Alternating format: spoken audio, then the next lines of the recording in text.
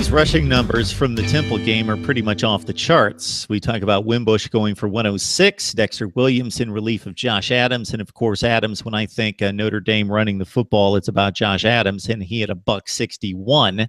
Uh, so you got to feel good about uh, the offensive line doing what uh, is expected of them, and the running game uh, really coming uh, to play. Yeah, I think there's a great, you know, which came first, the chicken or the egg debate um, with this Notre Dame rushing attack. You know, they do have three great running backs um, in Josh Adams, Dexter Williams, and uh, Tony Jones Jr.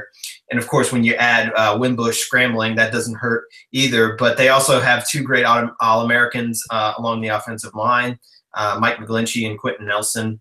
Um, and then Sam Mustipher, uh, the center and Alex Bars, the right guard, have really come along um, since last year. They kind of both struggled, and I think the new strength and conditioning staff has really helped them. So, you know, I'm sure there's a a, nice debate um, between the uh, three-headed monster in the backfield and the the big guys up front about who's really doing the work. And it, I think it's a little it's a combination of both. Uh, you take a look at some of those holes uh, that the offensive line was creating um, for uh, these three running backs. Um, and, you know, you or I could have probably run through some of them, um, but you or I probably can't really take it 60 yards. Um, and uh, so it's uh, it's going to be interesting to see when they go up against Georgia uh, here this week um, how well they can continue this rushing attack. Um, it's going to be, I mean, Temple, Temple is a physical team, um, but it's going to be a lot different going up against an SEC opponent.